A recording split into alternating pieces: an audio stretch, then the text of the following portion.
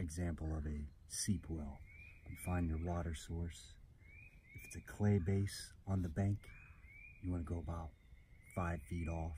But if it's a sandy bank, you want to go probably more about 10 feet off.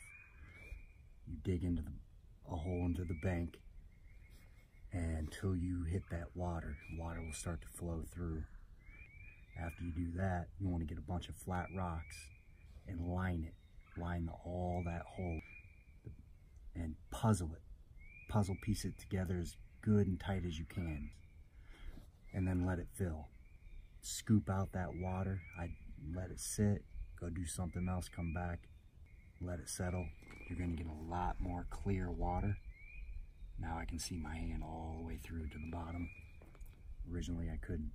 You're to have clear water and all of those pathogens are going to be filtered out through the earth, through the rocks, the sand, the dirt, the soil, all that.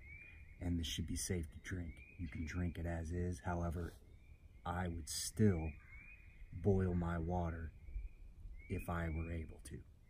However, if you do not have fire, you can just drink it as is and you should be fine. This is one example. Uh, you do a real good job of it near your camp, you can drink out of this for days.